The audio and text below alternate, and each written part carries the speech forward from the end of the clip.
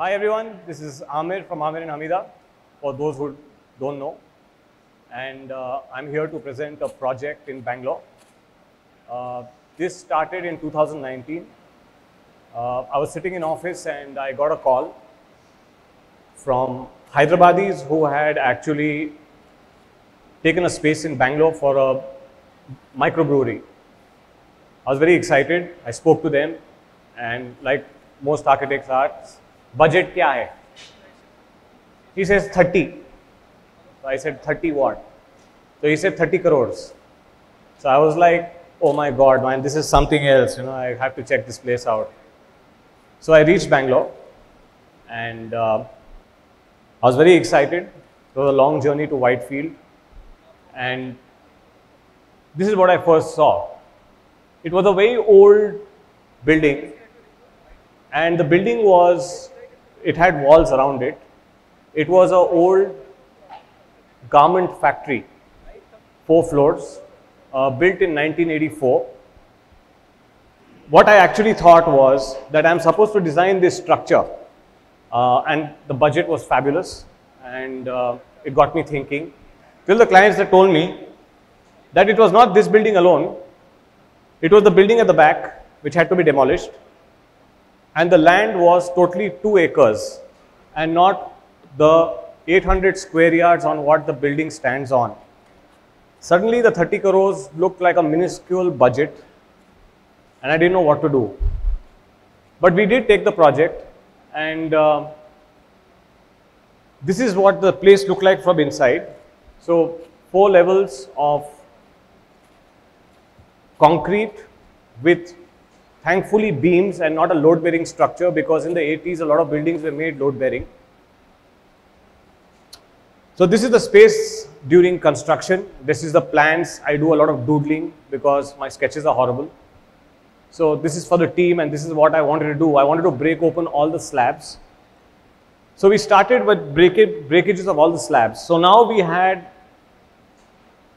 a space inside, a front yard and a backyard. So it was divided into three zones. So I started breaking open all the slabs to see how high I could go because I wanted to reduce the square footage of the space because we had ample space at the back and we had ample space in front. And with that kind of a budget, I had to make use of less floor plate so that I could possibly have a lot of budget to play. The backyard then, we realized we worked with a Hyderabad-based uh, landscapist, landscape architect, Naveen Associates, who's a very close friend of mine. And I told him, you know, you have to eat into the floor plate there, and the only way we can eat into this floor plate is by uh, getting a huge water feature in the cent central area, which he agreed to. And to capture the space, we used an upper deck where people would possibly go and uh, could possibly hang out on the upper deck and the lower deck during the rains. And then we had the basic water feature, which was on two and a half thousand square yards. So we started with basic tanks and during this time, a couple of months passed and we had COVID. We had the pandemic. We, to strategize the movement of the project, we made sure that there were 300 workers who only lived inside the project and would not go out and that would be the only way we could possibly finish this huge project. Once we had this structure which was four levels with only trellis beams, I had to fill the structure with something. So we worked with a parametric form which we made with metal angles and WeatherTex boards we started with a basic sketch. So the only form of parametric, though I'm so fascinated about parametric design, the only way I can do go about it is horizontal and vertical. And then I move with different heights to form shapes.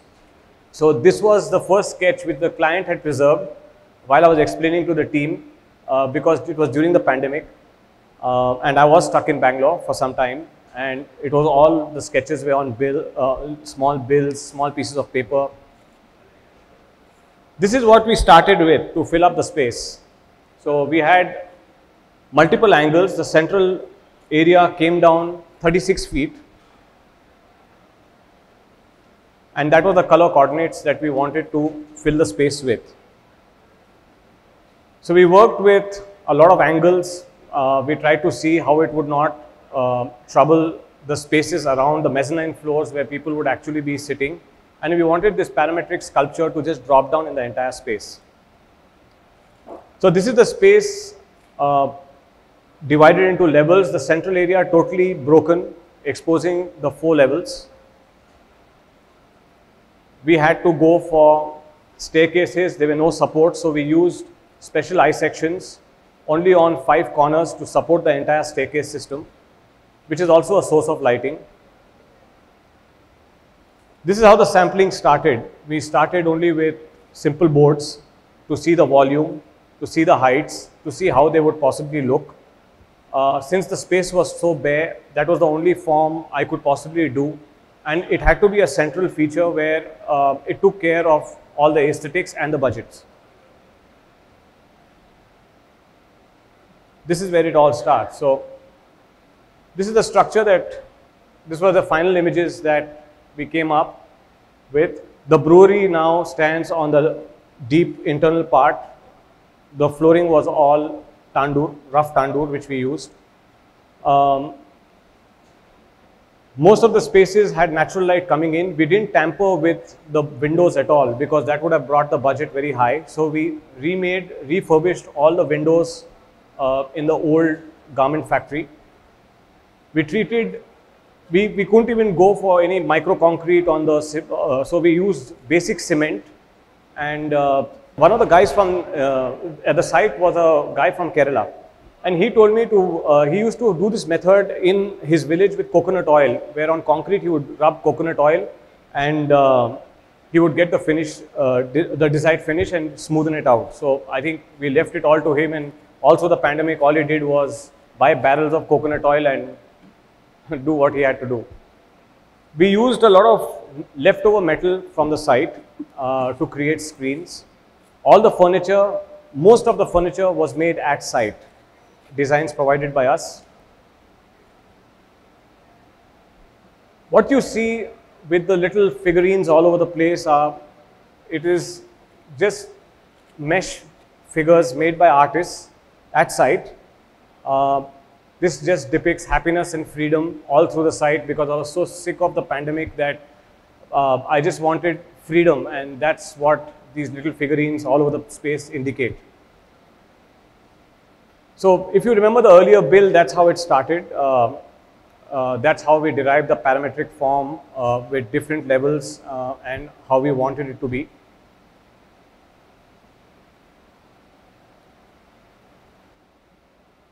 All the, all the railings, everything were existing metal at site from the windows which were grills which we removed most of them and used for the railings.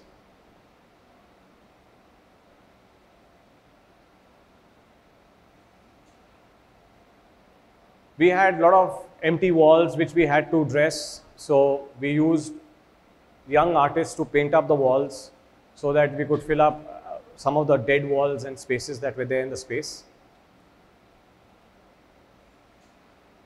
So most of the lighting over here, lighting was a challenge. It was a massive place and at 2,700 rupees a square foot to complete such a huge space with landscaping, lighting was going to take away look, a lot of the budget. So we used uh, Nilesh, a lighting consultant and designer from Bangalore, who did a fantastic job. Uh, we spent lots and lots of hours to indirectly light up the space. Uh, so that's what happened inside. But now we had a massive, massive backyard that need to be filled up. So this is the space. So we divided the backyard with a huge water feature on two and a half thousand square yards. We divided it into two pools. Uh, one was a koi pond and the other one was just a water body. Uh, but it was a very filtered water body where you could dip your legs in, sit around in the edges uh, during, I mean, uh, during the uh, brunch time and chill out. We had, we had these bridges casted over the water features uh, where people could actually sit. We left most of the building undisturbed. We used only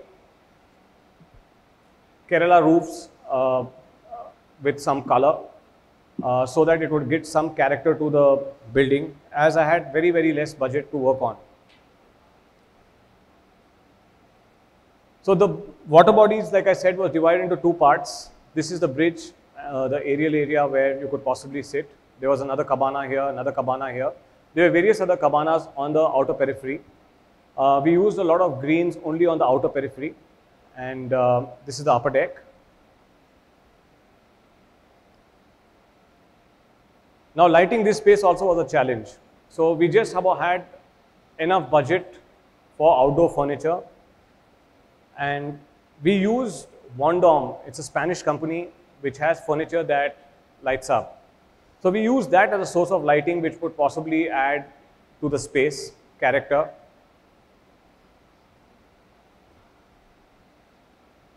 This is the space at night. So this is the same space in the day. So it transforms itself drastically in the evenings. Um, and that's what we used with maximum amount of lighting that we could do. We used a lot of linear forms, hidden forms of lights. We lit up all the planters. We lit up all the trees. Uh, we used uh, a lot of the furniture that lights up too. So that was a form of lighting for the entire space.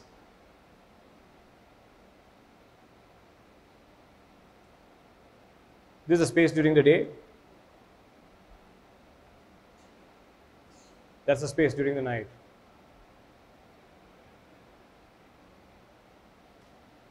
So we spent endless hours trying to see how this project was special to me because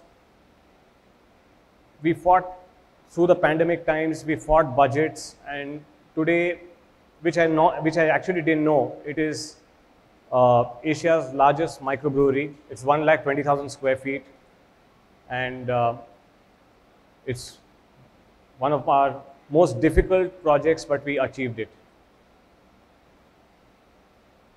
So we had this as an outdoor bar below the lower deck, a uh, lot of concrete forms. So basically we use concrete greenery. We normally work with very minimal forms. Again, a lot of blank walls which I had to fill up. So we used young artists to see what they could do with the space.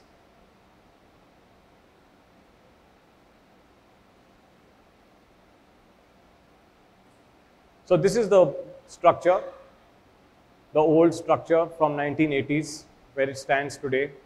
The foliage has grown even thicker now. We have greens everywhere. The central tree is blooming. Thank you.